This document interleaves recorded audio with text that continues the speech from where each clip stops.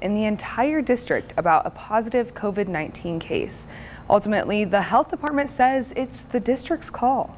It's a little nerve wracking. Oh, yeah. Donna Hackman is a parent of a senior at East Noble High School. Unfortunately, I wasn't very surprised. You'll see kids in the the hallways, they won't wear the masks. She says she appreciated the district's transparency when she read this email from East Noble Community Schools about two positive COVID 19 cases. It wasn't very specific, but she's glad she at least got the heads up. Uh, it could be my daughter. It could be my daughter bringing it home to me. Her daughter, Ellie Hackman, is a senior at East Noble High School. So it's kind of important to be transparent about it because a lot of people's lives are at risk and a lot of people's lives could be affected. Yeah.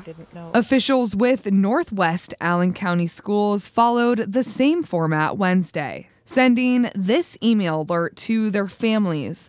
It says there was one positive case in the district. We did send the letter out, and as part of being transparent in an effort to help parents just get through the first time and the first experience with it and to walk through the process and the protocol of what to expect. But this type of district wide alert isn't required. In Allen County, the health department says it is ultimately the individual districts or schools' decision to determine whether or not they put out a mass notification to parents. I think parents in general need to be kept in the loop about the entire school. Renee Maples has a child who attends Fort Wayne Community Schools. I think everybody needs to be made aware, regardless. She might be disappointed because officials at FWCS told us over the phone they are sticking to their policy of only alerting people who were in close contact.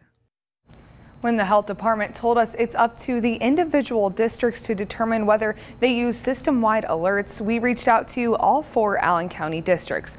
We are still waiting to hear back from Southwest and East Allen County schools. All right.